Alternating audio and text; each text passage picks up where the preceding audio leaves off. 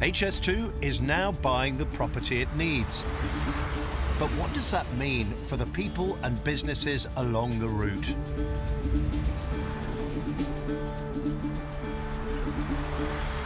I'm off to meet some of them in this trusty camper van. Its top speed, a sedate 60 miles an hour.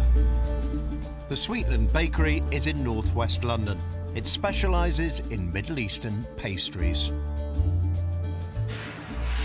And this is the baklava This one, the production. I have several baklava. I have sugar-free. I have veggie vegan also as well. We have this one. It's gonna be luxury. This one. This is a For that. luxury product. Yes. Micheline Haddad's husband started the family business more than 20 years ago. It now bakes 10 million pastries a year. How many people do you employ in this We have plant? 50 to 60 people. We have. Well, so it's not a huge business, but it's a big employer yes. locally. Yes.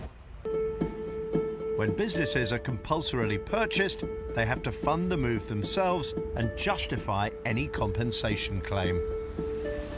The onus was on you Oh, to yeah. say, listen, To this save is a thriving business. Yes, it is. We had to save ourselves. Is that fair?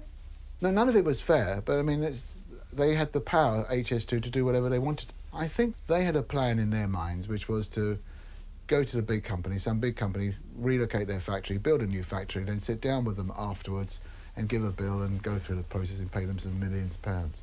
With a small business, it just doesn't work. The small business doesn't have the cash flow to necessarily keep going all the time in its own business, let alone build a new factory. HS2 says it recognises the process can hit businesses like Sweetland hard. The company has had some compensation, but says it's not enough. We borrowed money on the trading of the company, and uh, the, the family put up their houses, their flats, everything they had. You've kind of invested everything Yes. into keeping this business Once for going. all, like we, we play poker. You've put everything. Yes. You've, you've gambled everything. yes. Everything's on the table. Yes, yes. Sweetland has had £2 million to cover its costs.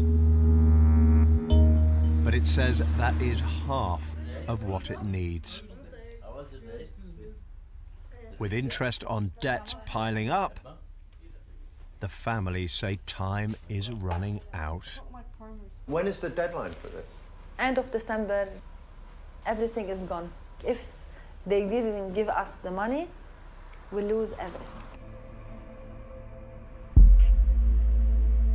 We've spoken to people who say they're literally on the verge of bankruptcy because they're waiting for payments from HS2. Absolutely, not, not our intent to, to bankrupt any business. These, these transactions are very complex. Often there's lots of multiple titles to the land that we have to settle on, and on any individual case, our intent is to pay promptly. We've got to acquire somewhere around eight to 10,000 properties. And one of my responsibilities is ensure that we reconcile the needs to acquire that land and make it value for money. Our job is to find a way of doing that as sensitive as possible, giving people a fair price for their property. HS2 says it's trying to resolve Sweetland's claim.